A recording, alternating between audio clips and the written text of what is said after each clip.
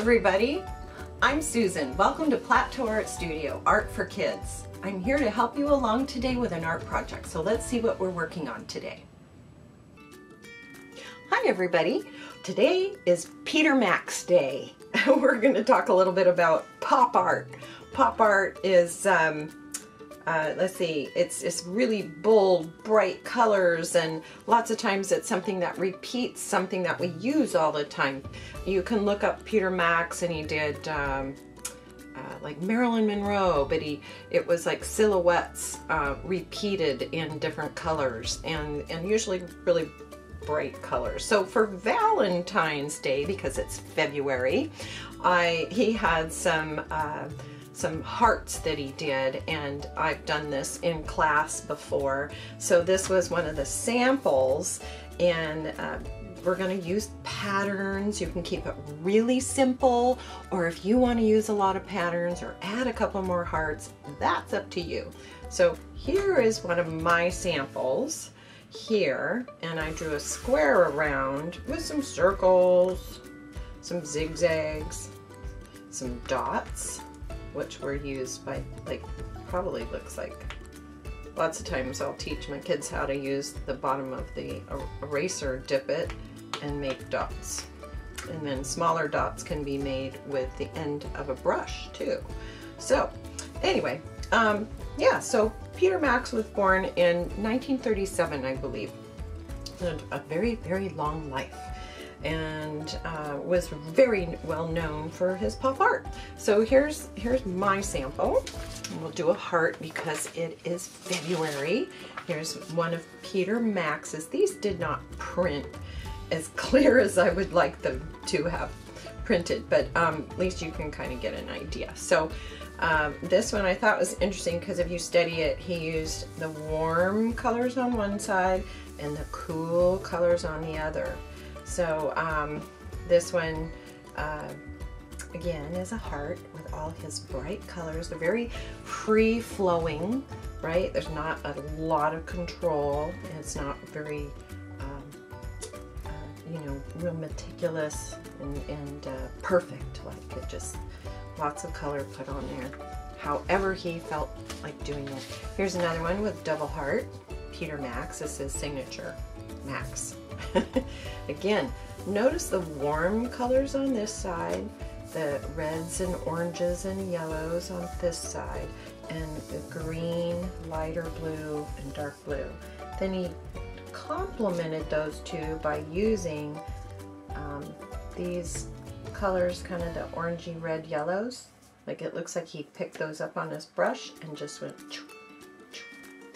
and painted that and then turned it around and did the same thing with the, the blues here. It kind of pulls that together.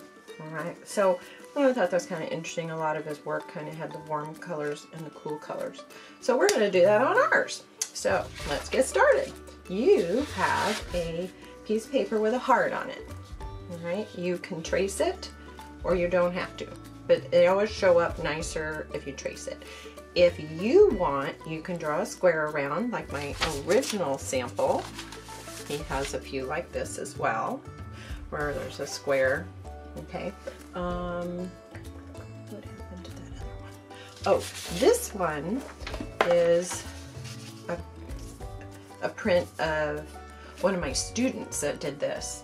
Uh, several, several years ago, and I just love this one. I thought it was really interesting that a um, five-year-old did this and I just thought that was amazing. So I love the fact of the warm colors, just like Peter Max had used his colors on one side and then the uh, cool color or another color on the other. So he has his warm colors and then filled this in with greens and blues and on this side his orange and uh, dark, I think this was supposed to be purple or maybe just a really dark blue because they're all kind of the strong primary and secondary colors. Primaries are your yellow, red, and blue.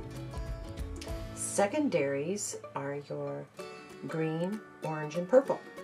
Green, orange, and purple are made of two colors, two of the primary colors. So, uh, all right, so let's get started here. Um, you can do kind of whatever you want. I want you to draw your design. Use pattern. Here I used a heart in the corners. You can use a pencil first. Don't use a marker just to kind of start making your design because you, if you decide you don't like it, you can't erase it. So um, I want you to do that. Put me on pause while you come up with your design around your heart. Here's another one. Okay, this is the one we'll, I'll be painting with you where it had the heart and then I just wanted to show you two different completely styles here where I have the heart and I did a small heart on top of that one and I'm going to do my cool colors here and my warm colors here and then the complementary here and we'll talk about that as I go along okay so come up you pause me and come up with your design. I think you have just the heart. So if you want another heart you want something around um, you want some polka dots in the background.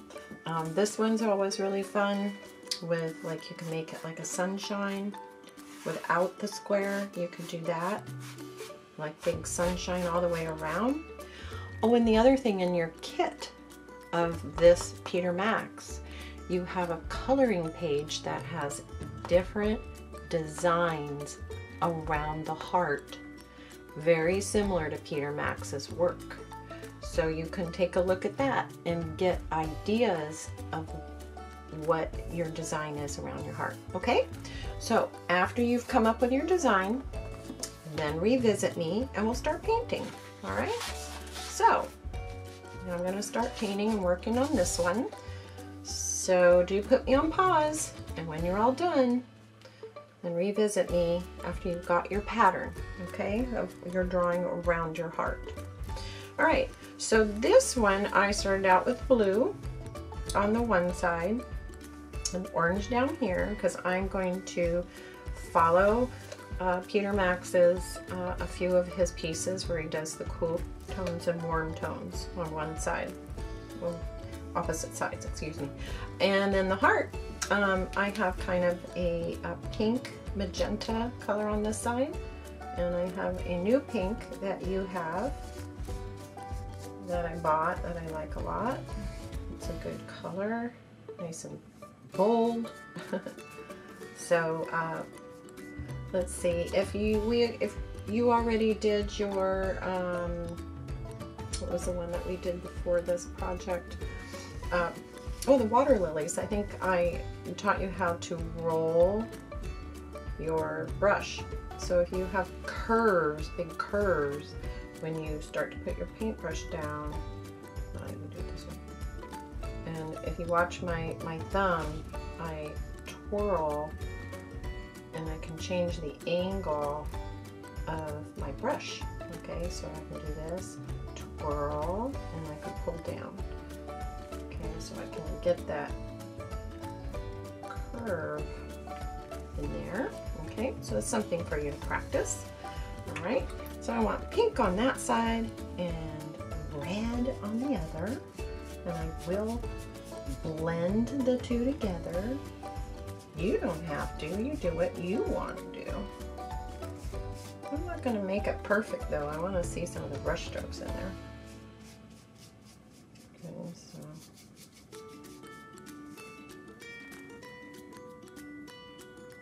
And then I can use the straight edge right up against that to make a really clean,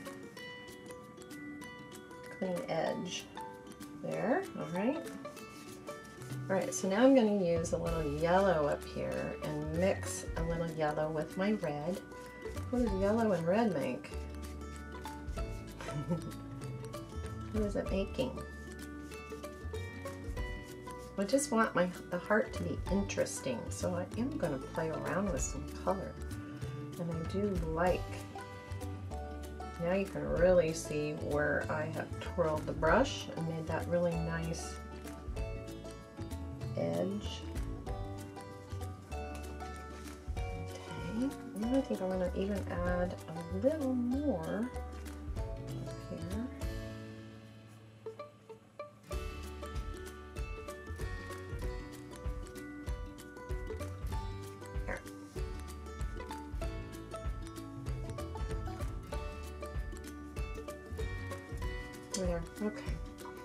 Gonna get this bold color up there. Now, let's see. I'll do the same thing over here with white. Kind of lighten, I want to lighten the top of the heart. That's just what I kind of want to do. So, you do what you want. Maybe the whole heart is pink or red.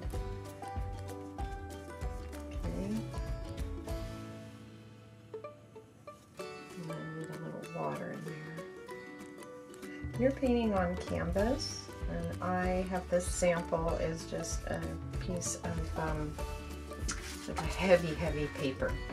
But you're painting on canvas, so your paint will probably do a little better than mine.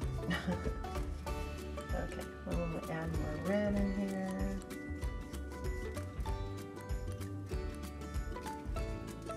And you just work on however you want it to be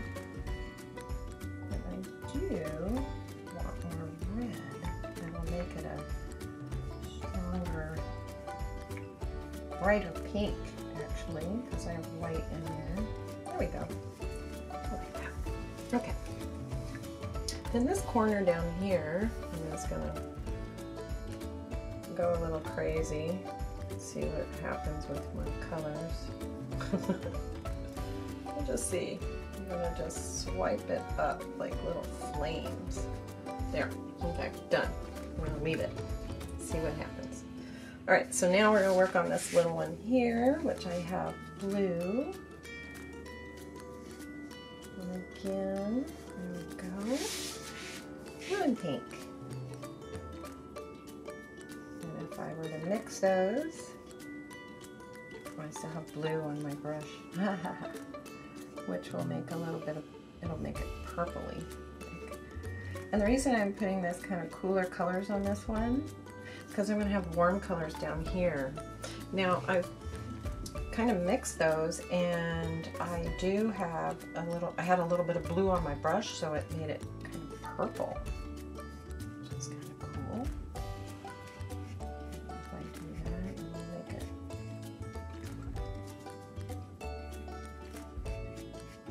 I don't want too much purple there. You might want more purple up there, but I don't. So there. Um, all right. I have that the way I want it. Let's see if can get. Um, yep. Okay, that's fine. All right, now um, let's do uh, some more blue around here And if I paint over this and I have my marker on there uh, I, to trace, if you used a permanent marker to trace with, then if you paint you can still see it. So um, that's why I use a lot of that. So I am going to paint right over those because I can still see where to paint. Okay. All right. So I have my blue on one side. Now I am going to clean your brush. Anytime you switch uh, colors, make sure you clean your brush. Okay, always, always clean your brush. Unless you're mixing, um, but always clean your brush. All right, so now I'm gonna have to be a little careful going right in around not to go over my heart. Alright, so I do want to kind of mix these colors here. I'm going to go over the top of the orange a little bit. That's just me. You don't have to do that. That's your artwork. And remember, whatever design you come up with, you have to paint it. So you do want to make sure um, that you haven't made such a, a big, you know, um, a design that is so much on there that you have to paint it all and then you get tired of doing it. So make sure whatever design that you came up with is, is doable. Okay, there we go. So there's my yellow. And now I'm to bring this green yellow down. And when it mixes into my yellow, it gets really nice and bright. Okay. And then I can also, I'm going to have that edge there because I stopped painting there. I'm just going to put a nice band of green. When it goes over the blue, it'll look like blue-green, and when it comes down into the yellow, it will get brighter.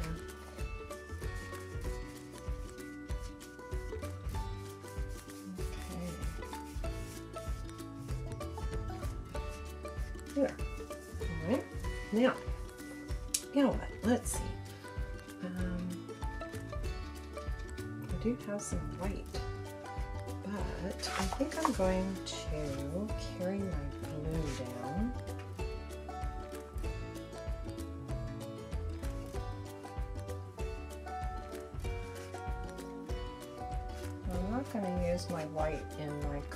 I'm going to show you how to fill in what other colors you're going to use.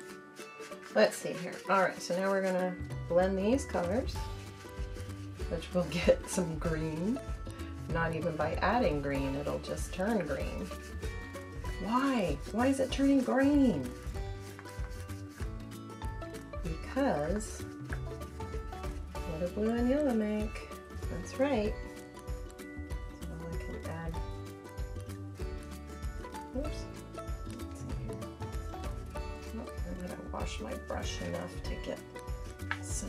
Off there.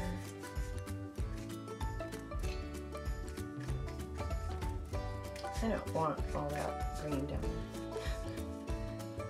So how am I getting that off? I'm washing my brush, drying it, and just kind of picking some up. And I'll add more yellow. And that's fine.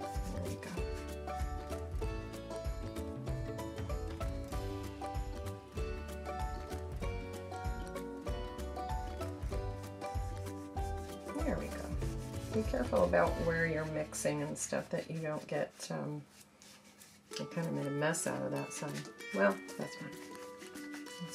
Okay, so now I have blended my green and um, I have a little green over here. I have my warm colors and my cool colors.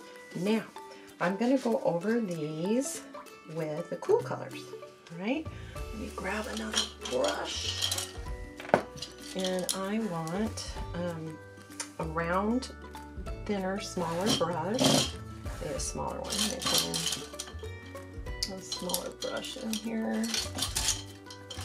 I don't have my good round one in here. So this one will do. Oh, there's one. There's one too. Okay. Um, so we're going to use opposite colors. So since this is warm, I'm going to use cool colors on my design. So to take some of my blue and add a tiny bit of water because it will, it's a little thick. So I want a tiny bit of water in it so it flows well. It, it can paint with it well, okay? So I'm going to paint this line with my blue. Your design might be different, so um, just if you have warm colors on one side and cool colors on the other. Now if you have a little design that they'll show up really well. Um, then I'm going to use white next to the zigzag.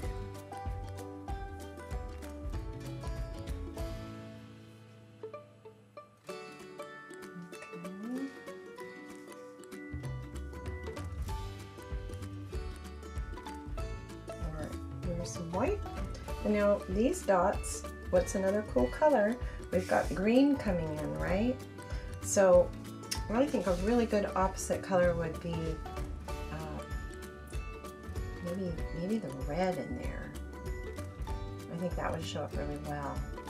Um, even though that's a warm color. But since I have green coming in, which is a cool color, I want these dots to really show up. So to break the rules of just cool colors. and do my red. Okay, so there's that. Now, this is definitely all cool colors here. So, I'm going to use my pink on this line.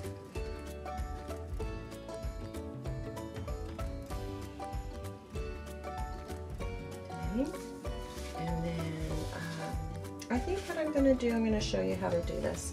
Um, don't ever do put this on top of your work, but um, I'm doing this only for the video, okay? Uh, you can take a pencil eraser and make like perfect little dots. Okay, just so I wanted you to see that. I was only doing that just because of the video, okay? so there's that, and you can just leave it. Now, if you want, um, if you know you want more, you can do this little sunshine type. And because I have so much color on here, I'm just going to use white. Okay, and I think I could go all the way around if I want. Kind of fun.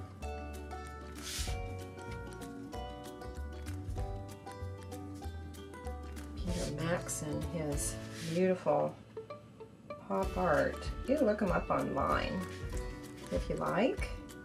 Peter Max. And you can see some of his other work. He did other things besides hearts as well. Alright. Hopefully I'm not taking too long. Now remember, I do move along pretty fast when I'm working on a project. Um, pause me at any time. To finish your your projects you know whatever stage you're at. So just make sure you you always pause my video until you get to a point where you can join me at the next step Okay, that's important.